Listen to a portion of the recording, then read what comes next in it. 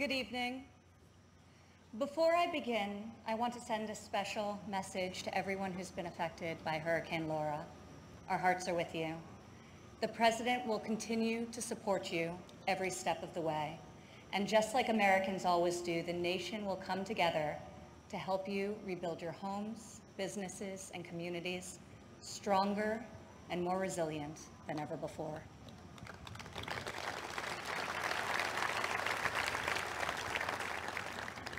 Four years ago, I introduced to you a builder, an entrepreneur, an outsider, and the people's nominee for President of the United States. Tonight, I stand before you as the proud daughter of the people's president.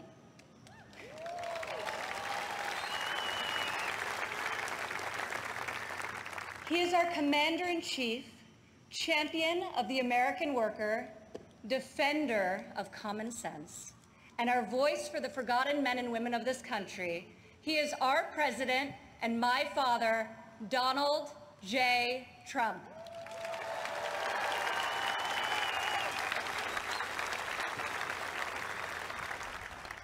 This evening, I want to tell you about the leader I know and the moments I wish every American could see. I want to tell you the story of a president who is fighting for you from dawn to midnight when the cameras have left, the microphones are off, and the decisions really count. When Jared and I moved with our three young children to Washington, we didn't exactly know what we were in for, but our kids, our kids loved it from the start. My son Joseph promptly built Grandpa a Lego replica of the White House.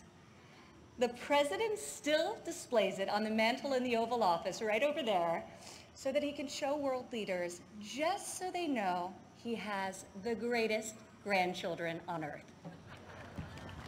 I agree. Over the last four years, we've learned a lot I've seen in Washington it's easy for politicians to survive if they silence their convictions and skip the hard fights. I couldn't believe so many politicians actually prefer to complain about a problem rather than fix it. I was shocked to see people leave major challenges unsolved so they can blame the other side, campaign on the same issue in the next election.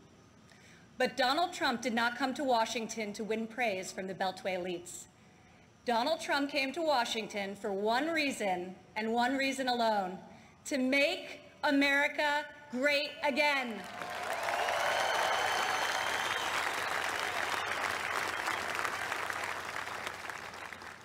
My father has strong convictions.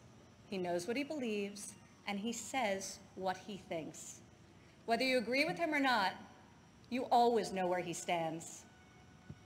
I recognize that my dad's communication style is not to everyone's taste, and I know that his tweets can feel a bit unfiltered. But the results, the results speak for themselves.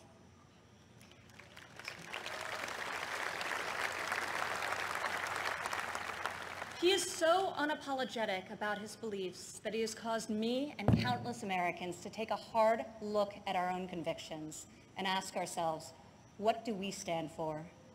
What kind of America do we want to leave for our children? I am more certain than ever before we want a future where our kids can believe in American greatness. We want a society where every child can live in a safe community and go to a great school of their choice.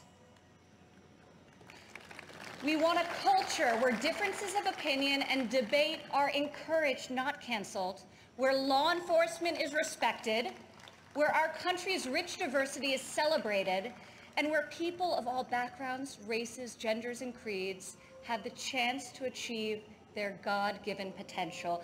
This is the future my father is working to build each and every day.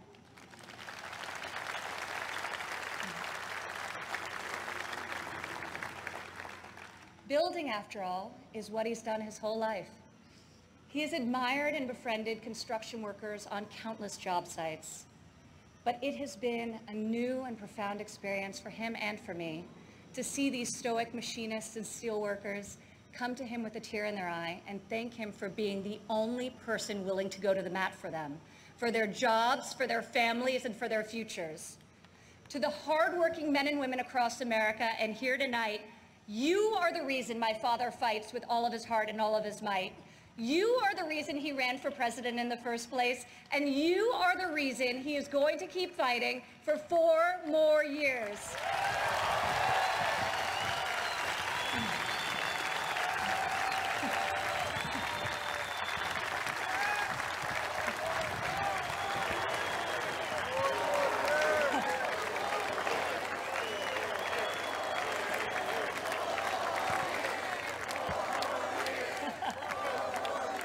Four more years.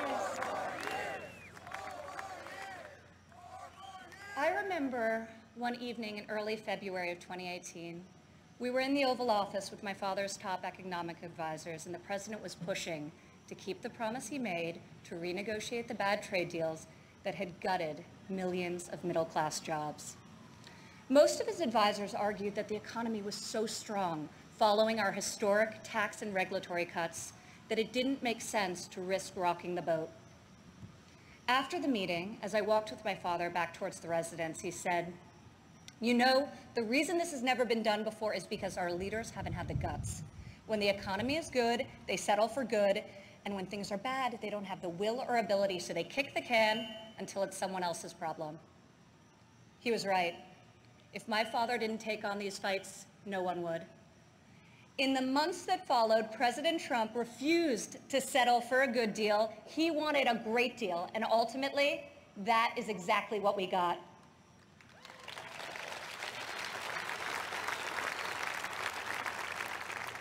I remember each time he was updated on the progress of the new trade deal with Mexico and Canada, he would say, don't let down those dairy farmers I met in Wisconsin. I don't want them to like this deal. I want them to love it.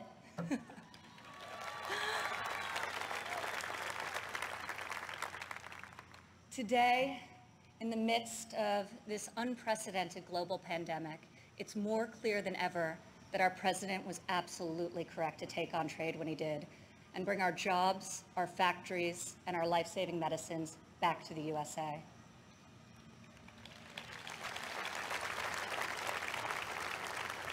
As our nation endures this grave trial, I pray for the families who are mourning the loss of a loved one, for those who are battling COVID-19, and for the first responders and the healthcare heroes who remain on the front line of this fight. The grief, sorrow, and anxiety during this time is felt by all. I've been with my father, and I've seen the pain in his eyes when he receives updates on the lives that have been stolen by this plague. I have witnessed him make some of the most difficult decisions of his life. I sat with him in the Oval Office as he stopped travel to Europe. I watched him take the strongest, most inclusive economy in a lifetime, the lowest unemployment in a half century, and the highest wage increase for working families in decades, and close it down to save American lives. It is why our president rapidly mobilized the full force of government and the private sector to produce ventilators within weeks, to build the most robust testing system in the world, and to develop safe and effective treatments, and very, very soon a vaccine. My father isn't deterred by defeatist thinkers. The word impossible, well, it only motivates him. Donald Trump rejects the cynical notion that this country's greatest achievements are behind us he believes that nothing is beyond our reach and that the best is yet to come.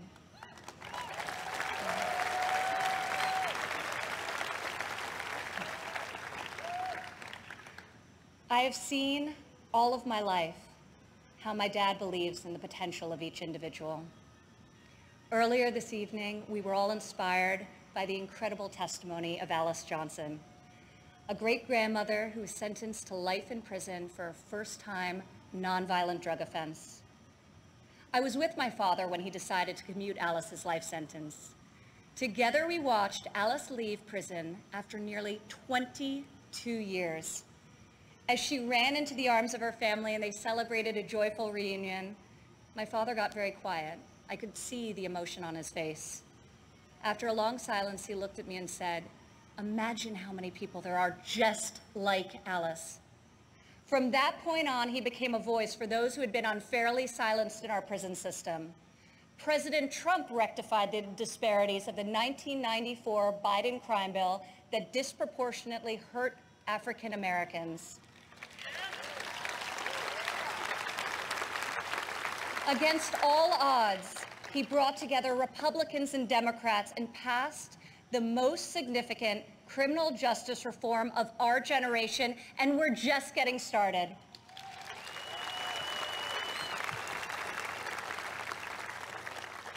My father did not campaign on this issue. He tackled this injustice because he has a deep compassion for those who have been treated unfairly. More than rhetoric and political prose, the ability to build consensus and achieve bipartisan success will help heal our country's racial inequities and bring us forward together. President Trump is advancing the American values of work and family.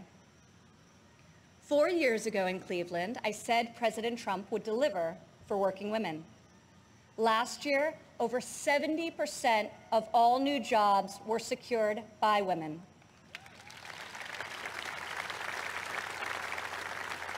Four years ago, I told you my father would focus on making childcare affordable and accessible. In President Trump's first term, we secured the largest ever increase for childcare funding, giving more than 800,000 low-income families great childcare at a cost they can afford. As part of Republican tax cuts, in 2019 alone, our child tax credit put over $2,000 into the pockets of 40 million American families. Democrat politicians recently introduced a plan to increase the child tax credit. Yet when I was fighting less than three years ago at the president's direction to get Congress to double the child tax credit, not a single Democrat voted to pass the law. We got it done anyway.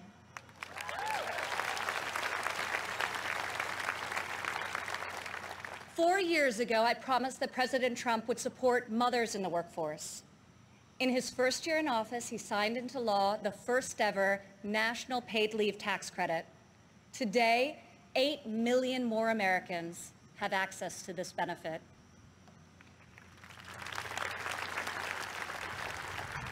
Four years ago, I said that Americans needed an economy that permits people to rise again. During President Trump's first three years in office, 72% of all new jobs went to Americans who had been outside of the workforce. Four years ago, I told you I would fight alongside my father, and four years later, here I am.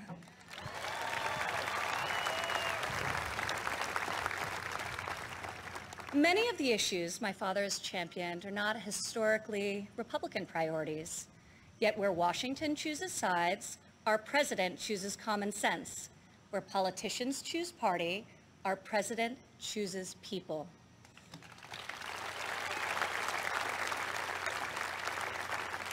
Since the day he took the oath of office, I've watched my father take on the failed policies of the past and do what no leader has done before. Recently, he took dramatic action to cut the cost of prescription drugs, despite fielding angry calls from the CEOs of nearly every major pharmaceutical company. Now, when we see attack ads paid for by Big Pharma, my dad smiles and says to me, you know, we're doing something really right if they're hitting us so hard.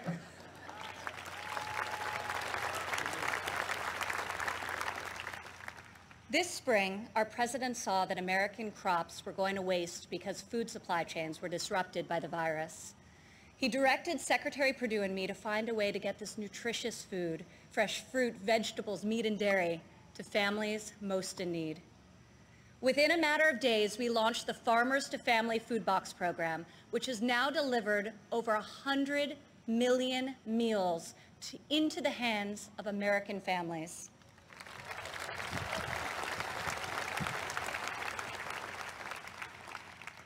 To protect the most vulnerable among us, I've worked alongside the President as he signed into law nine pieces of legislation to combat the evil of human trafficking.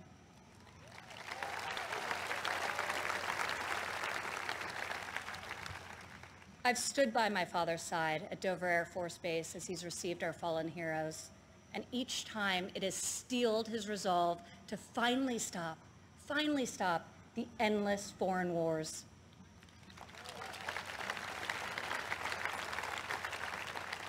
To change the paradigm in the Middle East, he took a fresh approach. I heard foreign leaders beg him not to move the American embassy to Jerusalem, yet he delivered on a promise also made and unfulfilled by past presidents because my father knew that it was the right thing to do. Defying all expectations, just weeks ago, he rewrote history again by making a peace agreement in the Middle East, the biggest breakthrough in a quarter century.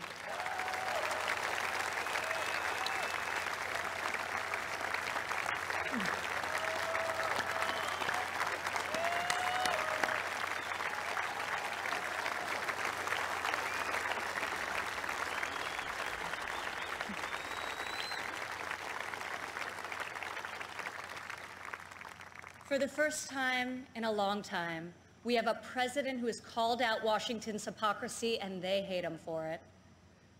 Dad, people attack you for being unconventional, but I love you for being real and I respect you for being effective. Our president refuses to surrender his beliefs to score point with the political elite. To my father, you are the elite. You are the only people he cares about scoring points with.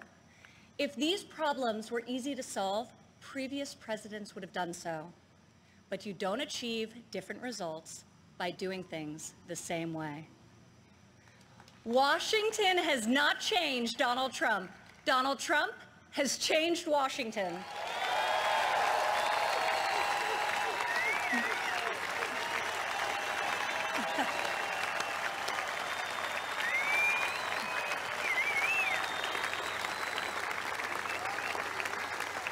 America doesn't need another empty vessel who will do whatever the media and the fringe of his party demands. Now more than ever, America needs four more years of a warrior in the White House.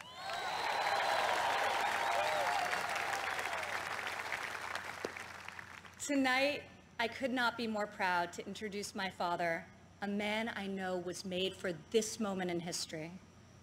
My fellow Americans, our First Lady, and the 45th President of the United States, Donald J. Trump.